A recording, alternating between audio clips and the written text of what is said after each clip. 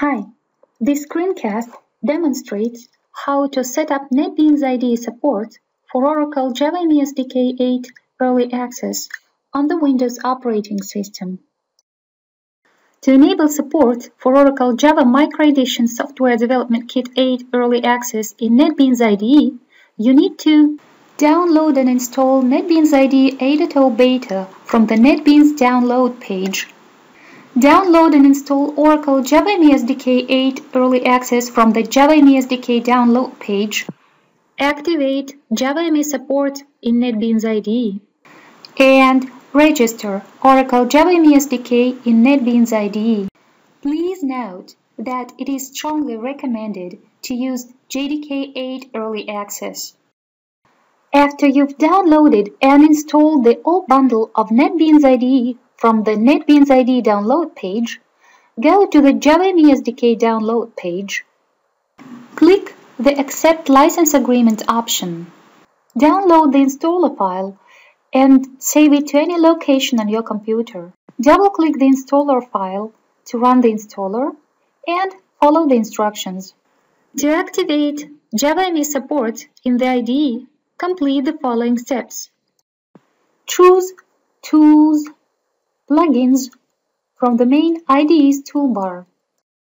In the Plugins dialog box, click the Installed tab. Select JavaME from the list of available features and click Activate. At the Welcome panel of the Installer dialog box, click Activate. When the activation is successfully completed, click Finish. The icon for the plugin in the left pane reflects the new status of the feature. Click Close to close the Plugins dialog box. To register the Oracle JavaME SDK as a platform in NetBeans IDE, complete the following steps. In the IDE, choose Tools, Java Platforms. The Java Platform Manager dialog box displays. Click Platform. In the Select Platform type panel of the Add Java Platform wizard, select Java ME CLDC Platform Emulator and click Next. Select the directory you installed the Java ME SDK 8 Early Access Platform to and click Open. Ensure Java ME SDK 8 Early Access is chosen and click Next. As soon as the IDE detects the platform, click Finish.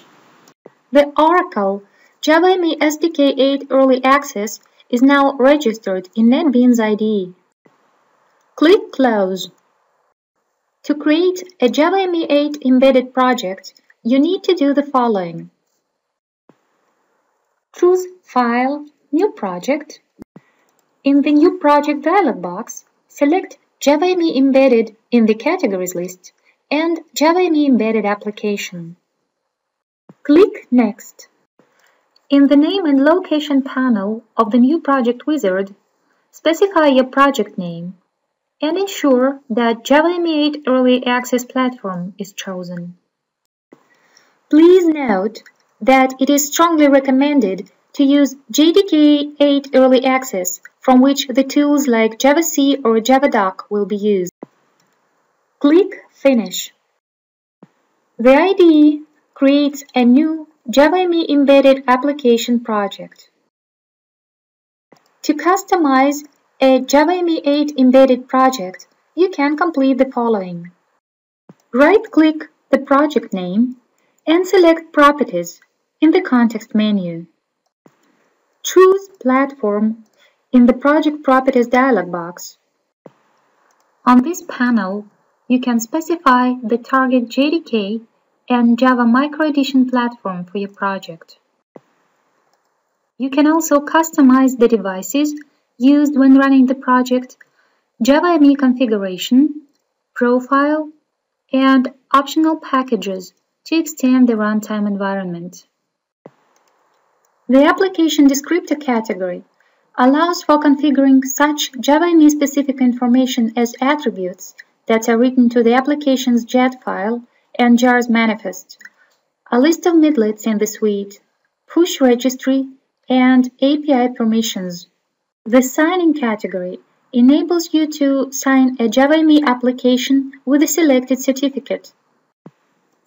On the obfuscating panel, ProGuard can be used to make code more difficult to read for humans when they try to reverse engineer an application.